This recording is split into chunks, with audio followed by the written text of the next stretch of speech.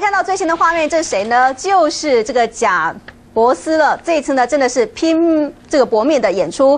科技迷呢所朝思暮想的 iPad 2，终于是在今天凌晨的四点钟亮相了，而且呢，还是由苹果灵魂人物贾伯斯主持的发表会。那么传出了他病危，但是这次他真的是亲自的演出，全程站着来介绍。第二代的这个 iPad 呢，是比第一代更轻薄，甚至呢，还比 iPhone 4还要薄一点。Good morning. for coming. 一站上舞台，立刻受到台下观众全体起立鼓掌。We've been working on this product for a while, and I just didn't want to miss today. So. 苹果的灵魂人物贾伯斯在医院因病请假后，意外在 iPad 2发表会上现身。虽然明显又憔悴了许多，但一谈到新产品，整个人却充满了活力。These are post-PC devices that need to be even easier to use than a PC.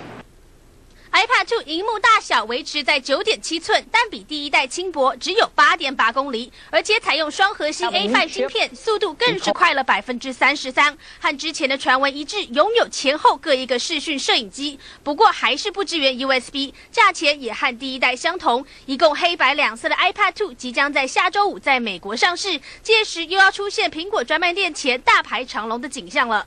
中天新闻卢玉涵综合报道。